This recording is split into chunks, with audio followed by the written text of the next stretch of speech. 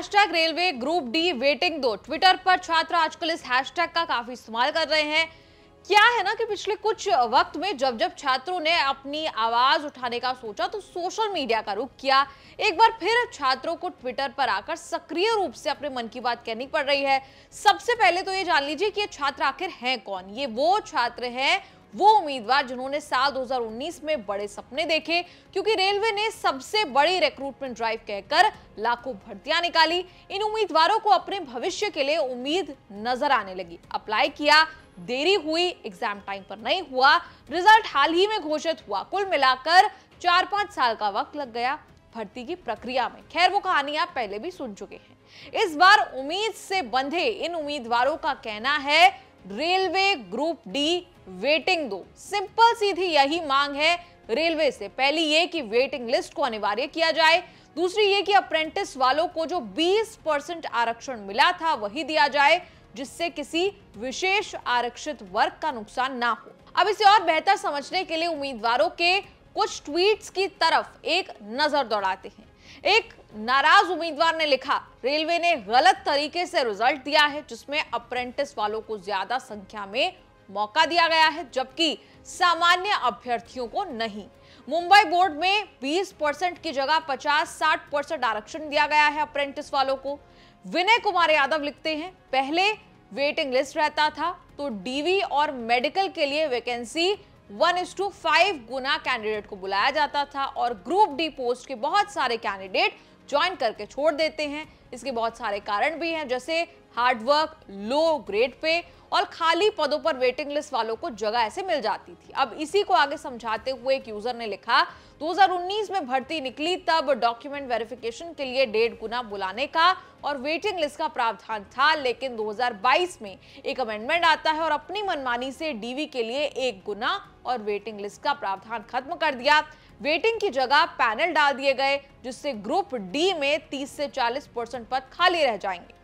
इसे और बेहतर समझाने के लिए छात्रों का एक सांसद को भेजा गया।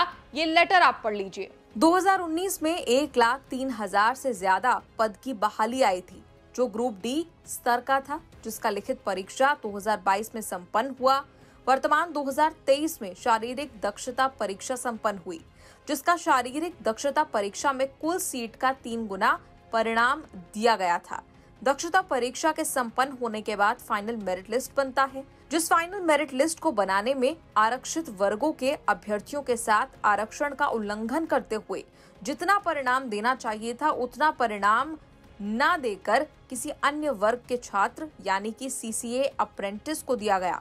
जबकि महोदय सीसीए अप्रेंटिस वालों को 2019 के नोटिफिकेशन के अनुसार कुल सीट का 20 परसेंट देना था। लेकिन 2019 के नोटिफिकेशन का पालन न करके आरक्षित वर्ग से लगभग 50 परसेंट सीट को दे दिया गया है, जिसके चलते आरक्षित वर्ग के छात्रों को फाइनल रिज़ल्ट में बहुत बड़ा अंतर पाया गया है, जिसके कारण बहुत सारे छात्र फाइनल परिणाम से बाहर हो गए।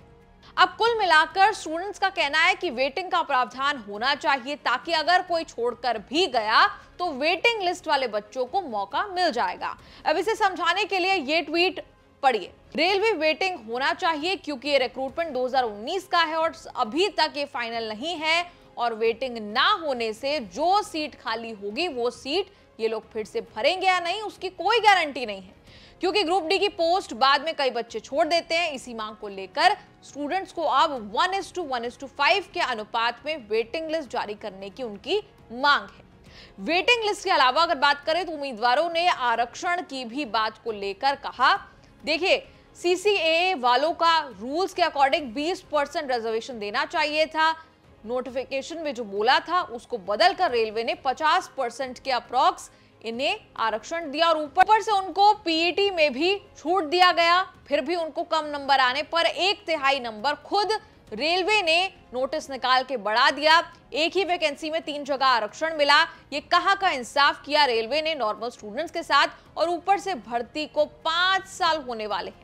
आपको बता दें कि रेलवे प्रतिष्ठानों में ट्रेनिंग लेने वाले अप्रेंटिस अभ्यर्थियों को ग्रुप डी भर्ती में पीटी यानी कि शारीरिक दक्षता परीक्षा में छूट दी गई थी। रेलवे ग्रुप डी की अप्रेंटिस एक्ट 2016 के तहत भारतीय रेलवे ने ग्रुप डी की एक लाख तीन हज़ार उनहत्तर भर्तियों में से 20 फ़ीसद, यानी बीस पद अप्रेंटिस युवाओं के लिए आरक्षित रखे थे। आरआरबी ने लिखित परीक्षा रिज़ल्ट की लिस्ट में इन उम्मीदवारों का रोल नंबर भी जारी नहीं किया था। डॉक्यूमेंट वेरिफिकेशन के रिज़ल्ट के साथ ही इन अभ्यर्थियों का रिज़ल्ट जारी होना निर्धारित किया गया था।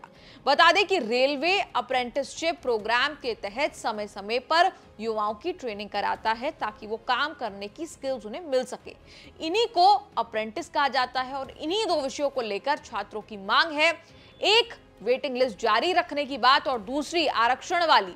अप्रेंटिस वाला मामला जो हमने आपको तसल्ली से समझाया।